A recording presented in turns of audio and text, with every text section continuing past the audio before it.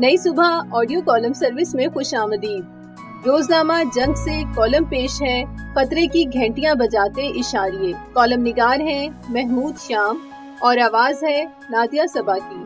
अगर आप नई सुबह की ऑडियो लाइब्रेरी से मुस्तफ़ होना चाहते हैं, या फिर हमारे साथ वॉल्टियर करना चाहते हैं तो विज़िट कीजिए हमारी website www.naisubha.org n a i s u b a h o r g सियासी तूफ़ान की जद में तो हम एक साल से थे ही। अब एक समंदरी तूफ़ान की आमद आमद है। साहिली बस्तियाँ खाली करवाई जा रही हैं। अल्लाह ताला से आजाना इल्तिजा है कि सिर्फ़ कराची ही नहीं, सारी साहिली बस्तियों को अपनी अमान में रख, अपने नायब, हज़रत इंसान को तूफ़ान की तबाही से महफूज रख, चाहे वो कराची में हो सिंध, बलोचिस्तान के साहिली इलाकों में हो, ईरान, भारत के जजीरों और समंदर किनारे आबादियों में हो। हमें तो वैसे भी अंधे तूफानों ने घेर रखा है। हम पर जो मुसीबत भी आती है, अंधा धुन आती है, इनशाला ये तूफ़ान भी गुजर जाएगा। इसके बाद बयानात का तूफ़ान आएगा। मुतल इदारों की आजमाइश है कि वो जिन बहरानों के लिए बनाए गए हैं, वक्त आने पर अपनी अहलियत का मुजाहरा करते हैं या नहीं। आप एक ऐसे हम वतन बुज़ुर्ग के जहनी कर्ब का अंदाज़ा कर सकते हैं, जो अपने नौ आज़ाद मुल्क का हम उम्र हो या कुछ साल बड़ा, के पिछहत्तर साल से उसकी आरजुएँ खाक होती रही हों।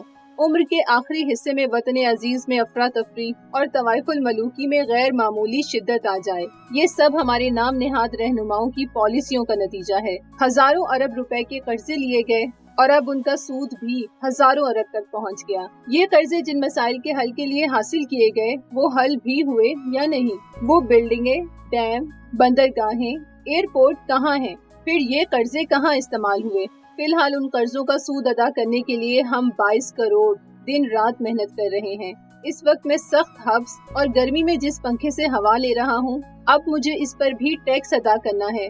हालाँकि ये मेरा अपना पंखा है। मैं बहुत ही संजीदगी और दर्द मंदी से आपके सामने हकाइक रखना चाहता हूँ। कि उन्नीस से इस मुल्क पर हुकूमत करने वाले सियासी और फौजी सरबराहों ने अपनी पॉलिसियों और अंदाज हुक्मरानी से इस मुल्क को किन रेड लाइनों पर पहुँचा दिया है? मुख्तलिफ़ शोबों के इशारे खतरे की घंटियाँ बजा रहे हैं। आप भी Europe, Dubai Kuwait Oman, America Australia जाते रहते हैं। वहाँ एक दिन में ही आपको अंदाज़ा हो जाता है कि वो अपने शहरियों को कितनी सहूलतें दे रहे हैं। माहौल कितना साफ़ सुथरा है। एक फर्द को क्या क्या हकूक हासिल है? वो अपने शहरियों का कितना एहतराम करते हैं? रियासत उनके वकार का कितना ख्याल रखती है? वो अपने शहरियों को अपना मुकाबिल ख्याल नहीं करती। रियासत के सारे इदारे एक एक फर्द के सामने जवाब दे हैं।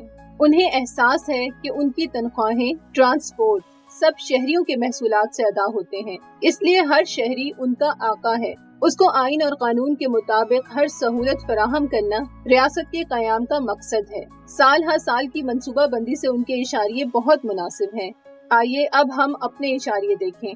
हम वजूदो अदन की सरहद पर खड़े हैं। शहरी आलूदगी के हवाले से पाकिस्तान दूसरे नंबर पर है।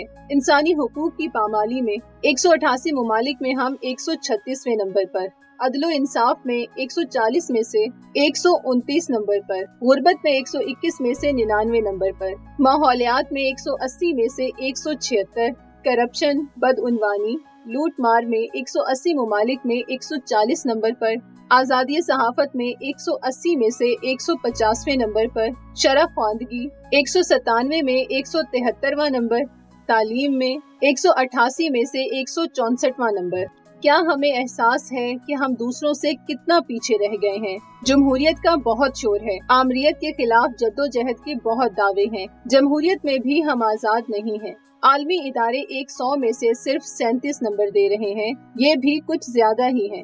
बहुत से तहकीकी इदारे कायम ही इसलिए किए गए हैं कि वो फर्द की अहमियत का जायजा लेते हैं। जीते जागते इंसान को ज़िंदगी की क्या सहूलतें मैसर हैं, क्या नहीं है, वो सारा साल इसका अंदाज़ा करते रहते हैं। एक मुस्तनद इदारे के मुताबिक 131 मीशतों में पाकिस्तान नवासी नंबर पर है। ज़िंदगी की उमदगी कवायद जवाबित पर अमल दरामद, कानून की हुक्मरानी, अशिया जरूरिया की फरावानी और ऐसे सारे शोबों में पाकिस्तान पस्तियों में उतरता जा रहा है।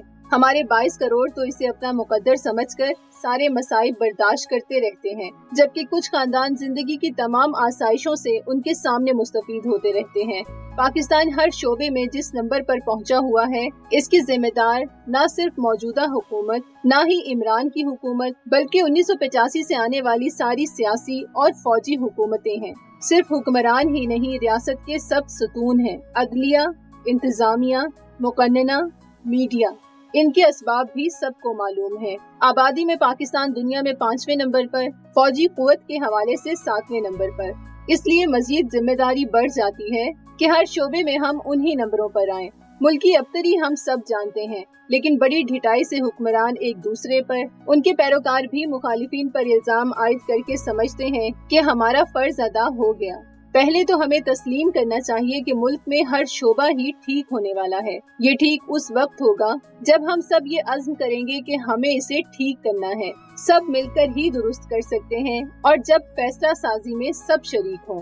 हमें आलमी सतह पर अपनी आबरू बहाल करना है। इलाकाई तनाजुर में हमें अपनी अफादियत मनवानी है। सिर्फ़ सदर को नहीं, सिर्फ़ वज़ीर आज़म को नहीं, सिर्फ़ आर्मी चीफ को नहीं 22 करोड़ में से हर एक को अपनी अपनी जगह हिम्मत करना है। अपनी आवाज़ बुलंद करना है। ये इक्कीसवीं सदी है। तेज रफ्तार राबतों की सदी। हम सबको इल्म है कि पाकिस्तान के इशारे क्यों खराब हैं। हम सबको तशवीश है। इसलिए हमें खुलकर बात करना होगी। ये इशारे बेहतर करने में ही पाकिस्तान की सलामती है। सरहदों का तहफ़ है। मीशत की बेहतरी है। महँगाई में कमी है। मैन्युफैक्चरिंग की वापसी है। अंदरूनी और बैरूनी सरमाकारी भी तब ही होगी। एक फर्द के हकूक भी तब ही मिल सकेंगे। ये भी हकीकत है कि हम किसी शोबे में भी अपना नंबर बेहतर नहीं कर पा रहे। इस सवाल को हम इज्तमाही तौर पर ही रोक सकते हैं। कोई फर्द, कोई इदारा, अकले कुल नहीं हो सकता।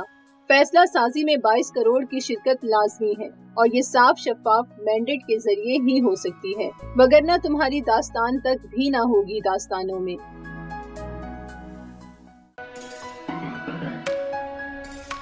ये मालूमती मवाद नई सुबह की जानब से पेश किया गया। अपनी आरा के इजहार के लिए कमेंट कीजिए या डिस्क्रिप्शन में दिए गए रबते के ज़राए इस्तेमाल कीजिए।